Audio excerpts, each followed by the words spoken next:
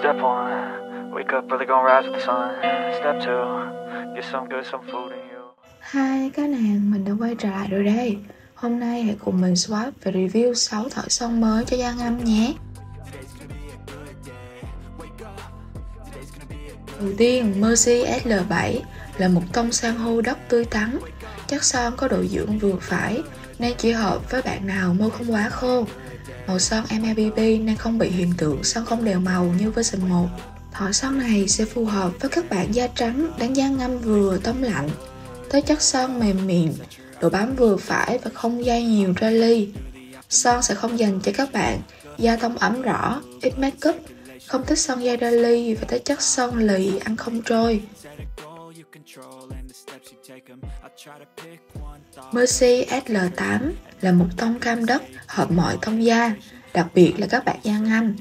Thỏi son này sẽ phù hợp với các bạn da tông ấm, da trung bình đến da ngâm với chất son mềm mịn, độ bám vừa phải và không dây nhiều ra ly. Son sẽ không dành cho các bạn da tông lạnh, không thích son dây ra ly khẩu trang và các bạn thích chất son lì ăn không trôi. Độ bám son ở mức khá, tầm từ 2 đến 3 tiếng và sau khi ăn chỉ để lại lớp tin màu rất nhạt.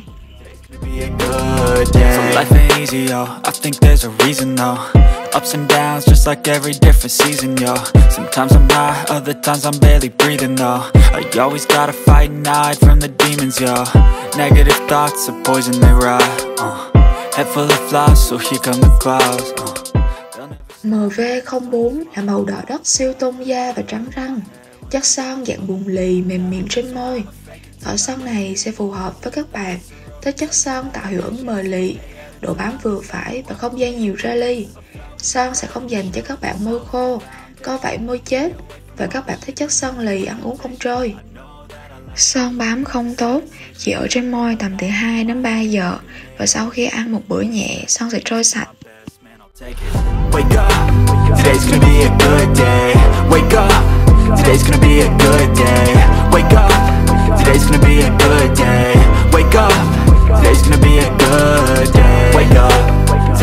Be a good day. Wake up, today's gonna be a good day. Wake up, today's gonna be a good day. Wake up, today's gonna be a good day.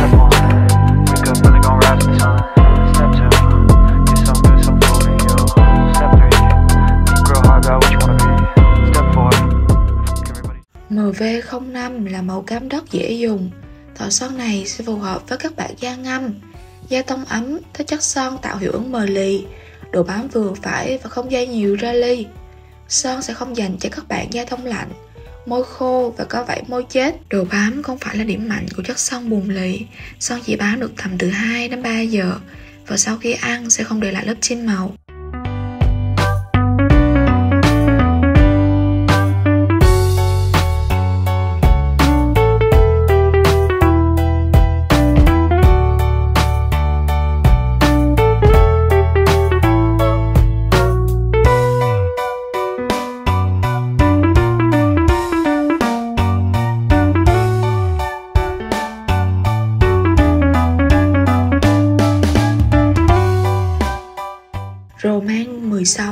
Son mới ra mắt sau của hãng. Đây là một tông san hô đất, chất son bùn lì khá giống với Black Room. Thỏi son này sẽ phù hợp với các bạn da trắng đến da trung bình tông lạnh. thế chất son mềm mịn, độ bám vừa phải và không dây nhiều ra ly. Son sẽ không dành cho các bạn da tông ấm rõ, ít make up, môi khô và có vảy môi chết và thích chất son, lì, ăn không trôi. Đồ bám son không tốt lắm, chỉ bám trên môi tầm từ 2 đến 3 giờ và không để lại lớp tin màu sau khi ăn.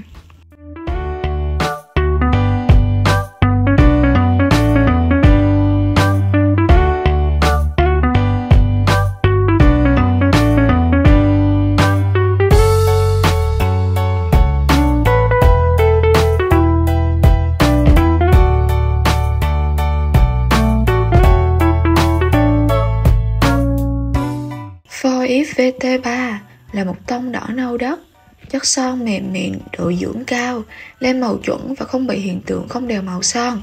Thỏi son này sẽ phù hợp với hầu hết tông da, đặc biệt với các bạn thích son trầm, mê chất son ẩm mịn, độ bám vừa phải. Son sẽ không dành cho các bạn thích son nhẹ nhàng, không thích son da ra ly và các bạn mê chất son lì ăn uống không trôi. Son chỉ bám trên môi tầm từ 4 đến 5 tiếng và sau khi ăn son sẽ trôi sạch.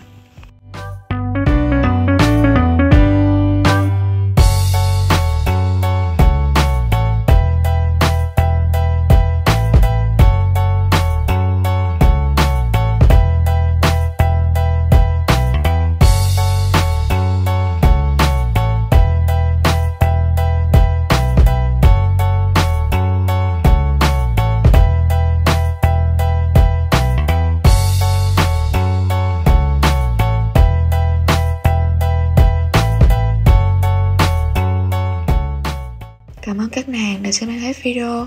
Hẹn gặp lại các nàng trong các video tiếp theo. Subscribe để xem thêm nhiều một xuân xanh cho Giang Âm nhé.